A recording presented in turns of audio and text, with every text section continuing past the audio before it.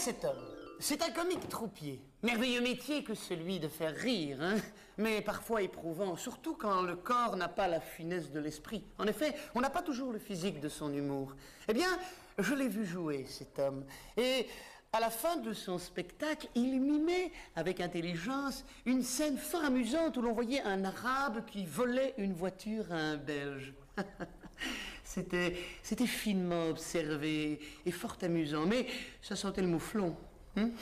Et oui, parce qu'il joue en salopette pour faire le sympa. Mais c'est épouvantable. Hein? Et c'est ce qui nous a donné l'idée, chez Jean-François Manhattan, de créer Jouvence, le premier déostique à base de beurre de ferme.